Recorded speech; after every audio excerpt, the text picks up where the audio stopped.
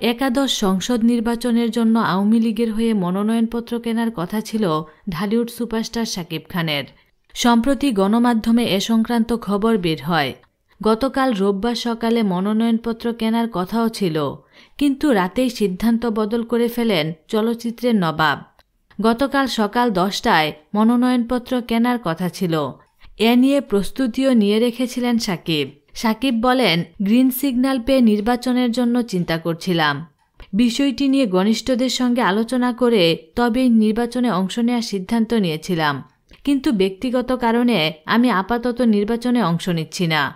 নির্বাচনের বিষয়ে সাকিব খান বলেন আপাতত সেটা মাথা থেকে ঝেড়ে ফেলেছি। মানুষের পাশে দাঁড়ানোর ইচ্ছে রয়েছে সব সময়। আগামীতে সুযোগ পেলে সেটা কাজে লাগানোর চেষ্টা করব। তবে এই মুহূর্তে চলচ্চিত্র নিয়ে ব্যস্ত সময় অতিক্রম করতে হচ্ছে আমাকে। সেটা নিয়েই আছি।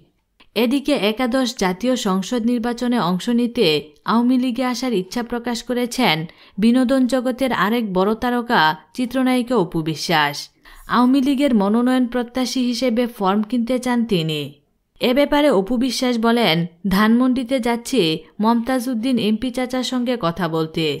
তিনি এবং আমার প্রাণপ্রিয় নেত্রী শেখ হাসিনা সবুজ সংকেত দিলেই মনোনয়ন ফর্ম কিনব। আমি মূলত বঙ্গবন্ধু শেখ মুজিবুর রহমানের আদর্শে রাজনীতি করতে চাই, মানুষের পাশে থাকতে চাই। কারণ রাজনীতি হল মানুষের পাশে থাকার সরাসরি মাধ্যম। এদিকে অনেকেই ধারণা করছেন, হয়তো অপু বিশ্বাসের রাজনীতিতে আসার কারণেই রাজনীতি থেকে সরে যাচ্ছেন সাকিব খান। কারণ অপু বিশ্বাসের সঙ্গে ডিভোর্সের পর থেকেই যথেষ্ট দূরত্ব বজায় রেখে চলেন সাকিব খান। তো দর্শক, এ বিষয়ে আপনার কি মতামত কমেন্টের মাধ্যমে জানাতে পারেন। বিনোদন জগতের নিত্য নতুন খবরাখবর জানতে আমাদের চ্যানেলটিতে সাবস্ক্রাইব করার জন্য আপনাকে আন্তরিক ধন্যবাদ।